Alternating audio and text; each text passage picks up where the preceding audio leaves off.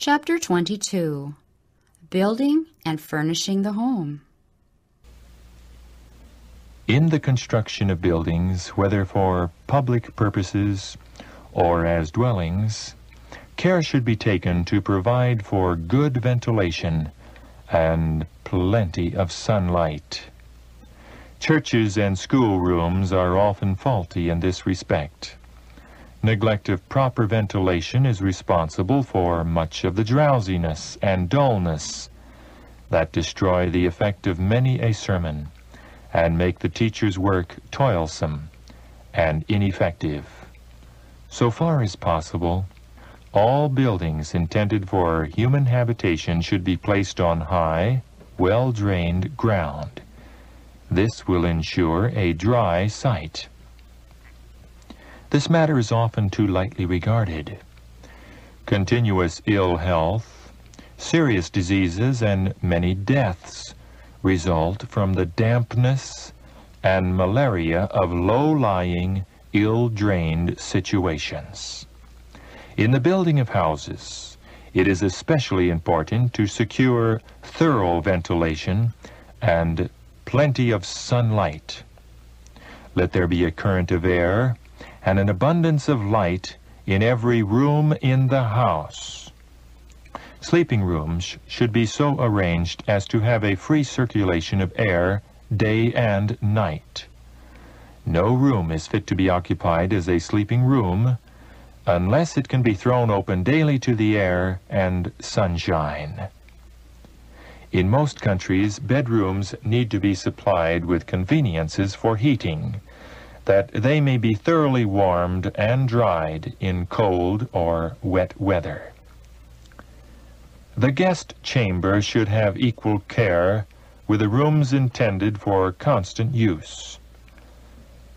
Like the other bedrooms, it should have air and sunshine, and should be provided with some means of heating to dry out the dampness that always accumulates in a room not in constant use.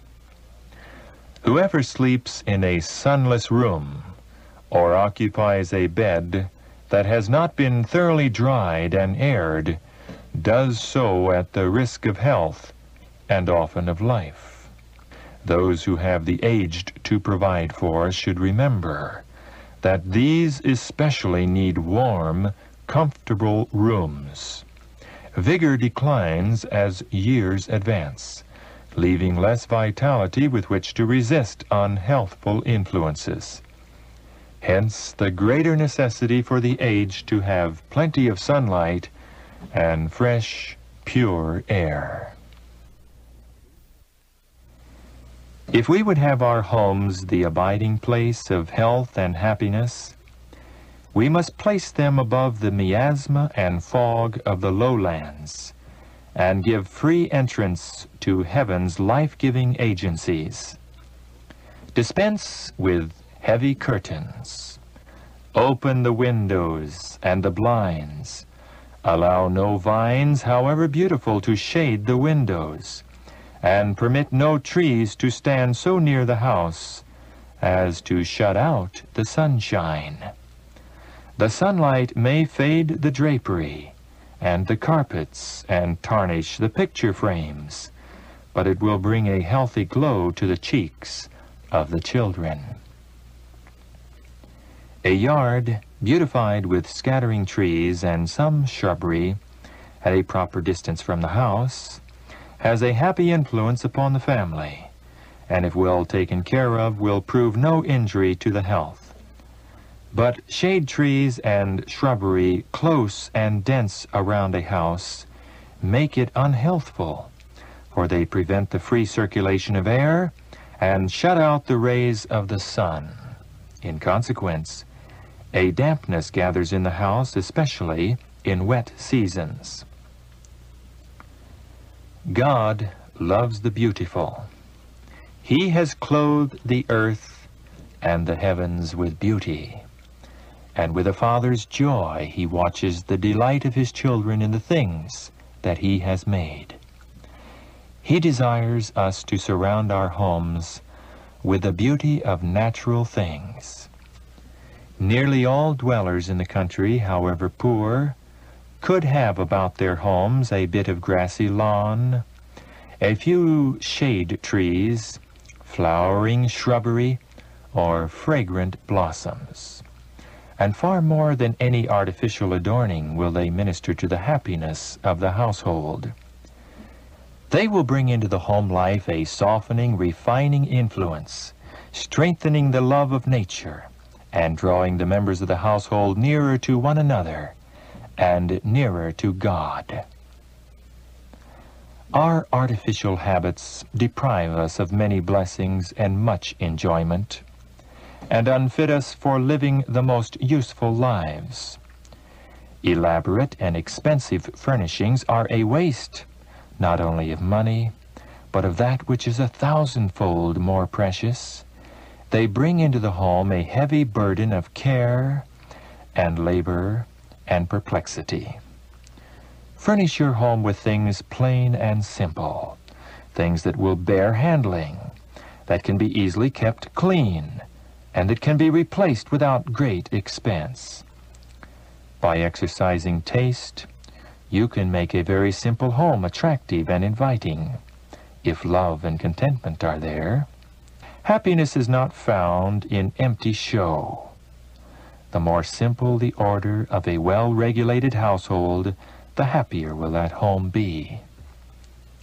Life is a disappointment and a weariness to many persons because of the unnecessary labor with which they burden themselves in meeting the claims of custom.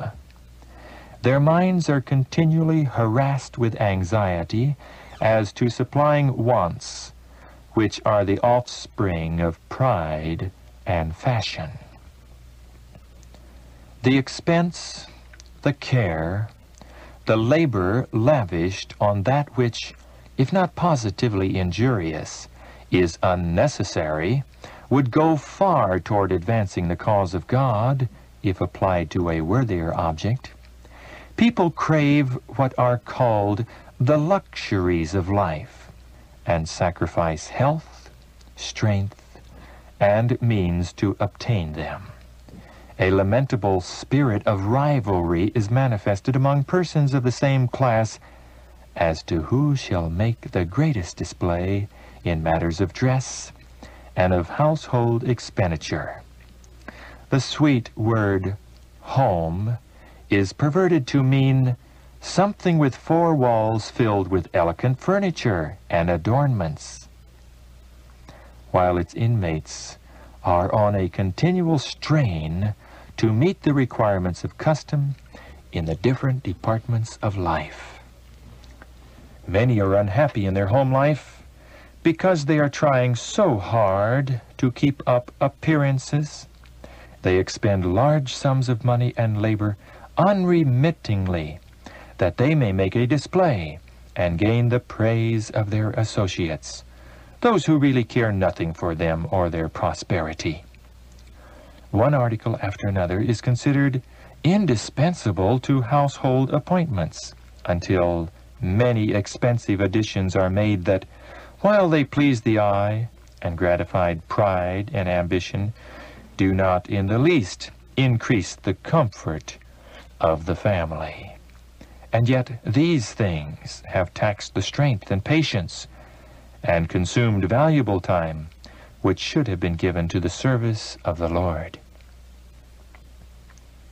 The precious grace of God is made secondary to matters of no real importance, and many while collecting material for enjoyment lose the capacity for happiness. They find that their possessions fail to give the satisfaction that they had hoped to derive from them, this endless round of labor, this unceasing anxiety to embellish the home for visitors and strangers to admire, never pays for the time and means thus expended. It is placing upon the neck a yoke of bondage grievous to be borne. In some families, there is too much done. Neatness and order are essential to comfort, But these virtues should not be carried to such an extreme as to make life a period of unceasing drudgery and to render the inmates of the home miserable. In the houses of some whom we highly esteem, there is a stiff precision about the arrangement of the furniture and the belongings that is quite as disagreeable as a lack of order would be. The painful propriety which invests the whole house makes it impossible to find there that rest which one expects in the true home. It is not pleasant when making a brief visit to dear friends to see the broom and the duster in constant requisition, and the time which you had anticipated enjoying with your friends in social converse spent by them in a general tidying up and peering into corners in search of a concealed speck of dust or a cobweb. Although this may be done out of respect to your presence in the house, Yet you feel a painful conviction that your company is of less consequence to your friends than their ideas of excessive neatness. In direct contrast to such homes was one that we visited during the last summer. Here the few hours of our stay were not spent in useless labor or in doing that which could be done as well at some other time, but were occupied in a pleasant and profitable manner restful alike to mind and body. The house was a model of comfort. Although not extravagantly furnished, the rooms were all well lighted and ventilated, which is of more real value than the most costly ornaments. The parlors were not furnished with that precision which is so tiresome to the eye, but there was a pleasing variety in the articles of furniture. The chairs were mostly rockers or easy chairs, not all of the same fashion, but adapted to the comfort of the different members of the family. There were low, cushioned rocking chairs and high, straight-backed ones, wide, capacious lounging chairs and snug little ones. There were also comfortable sofas, and all seemed to say, Try me, rest in me. There were tables strewn with books and papers, all was neat and attractive, but without that precise arrangement that seems to warn all beholders not to touch anything for fear of getting it out of place. The proprietors of this pleasant home were in such circumstances that they might have furnished and embellished their residence expensively. But they had wisely chosen comfort rather than display. There was nothing in the house considered too good for general use, and the curtains and blinds were not kept closed to keep the carpets from fading and the furniture from tarnishing. The God-given sunlight and air had free ingress with the fragrance of the flowers in the garden. The family were, of course, in keeping with the home. They were cheerful and entertaining doing everything needful for our comfort without oppressing us with so much attention as to make us fear that we were causing extra trouble. We felt that here was a place of rest. This was a home in the fullest sense of the word. The rigid precision which we have mentioned as being a disagreeable feature of so many homes is not in accordance with the great plan of nature. God has not caused the flowers of the fields to grow in regular beds with set borders, but he has scattered them like gems over the greensward, and they beautify the earth with their variety of form and color. The trees of the forest are not in regular order.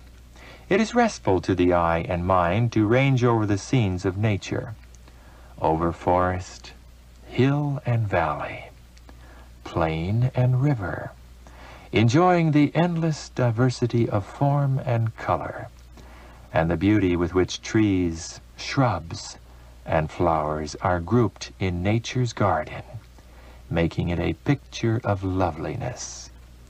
Childhood, youth, and age can alike find rest and gratification there.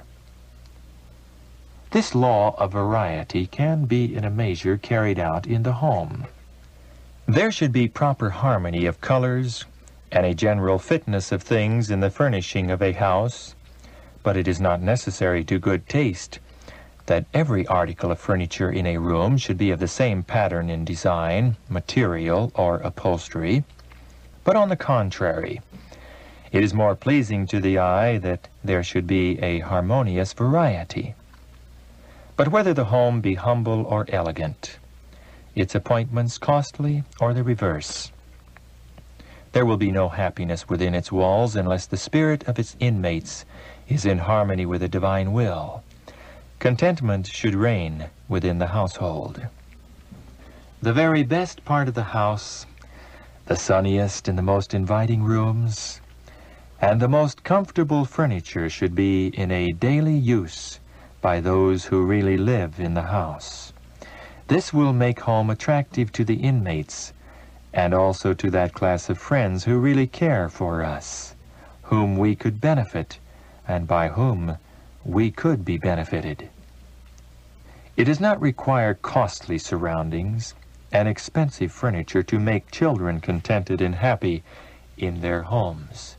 But it is necessary that the parents give them tender love and careful attention. Four walls and costly furniture, velvet carpets, Elegant mirrors and fine pictures do not make a home if sympathy and love are wanting. That sacred word does not belong to the glittering mansion where the joys of domestic life are unknown. In fact, the comfort and welfare of the children are the last things thought of in such a home. They are neglected by the mother whose whole time is devoted to keeping the appearances and meeting the claims of fashionable society. Their minds are untrained. They acquire bad habits and become restless and dissatisfied, finding no pleasure in their own homes, but only uncomfortable restrictions. They break away from the family circle as soon as possible.